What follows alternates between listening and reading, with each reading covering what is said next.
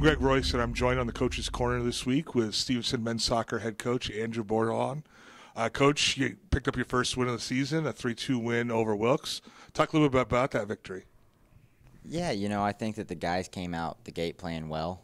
Um, we did a really good job of trying to stick to our game plan and what we wanted to do. We did make some mistakes that, that cost us a couple of goals, in, uh, you know, building out of the back.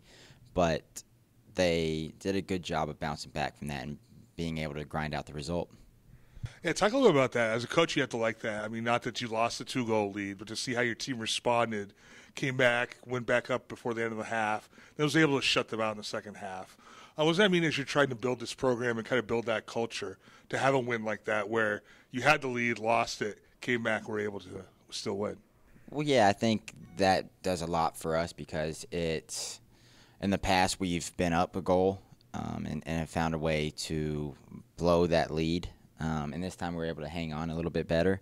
Um, but you know, I think that win's going to do a lot for us, mainly because I think that we get so caught up in the result, um, in the result that we want, that we forget about the process that it took or what we were doing that was working successfully um, during that game and, and we take ourselves out of that game. So the fact that they, you know, we, you saw periods of times where we did do that this week, but not long enough for it really able to to hurt us.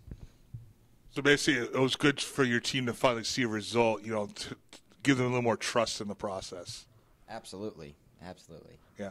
Um, now, looking forward to this week. Um, you've got another home game this week, Tuesday against Roanoke. Um, and then you enter conference play. First, talk a little bit about Roanoke. You know, they look like uh, four and three. Uh, talk a little bit about them and what you know about them. Roanoke um, has played a tough schedule. They they've done very well. They played a couple. Well, Messiah in our conference very well.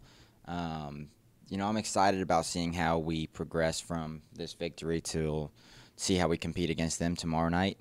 Um, and then yes, it's a you always want a positive result or, or playing well going into conference because again, this is a new season for us.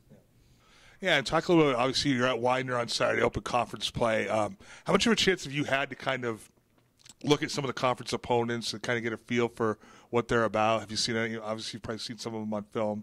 Uh, talk about what you know about your conference opponents as we head into conference play.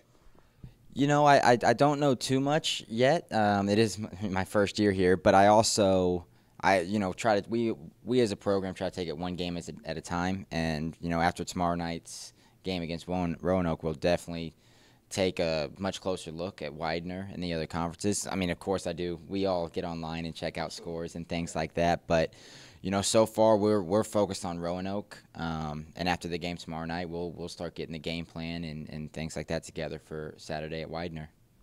All right, great. Um, it's been the Coach's Corner with Coach Andrew Bordelon. I'm Greg Royce, and uh, thanks for your time, Coach. Thank you.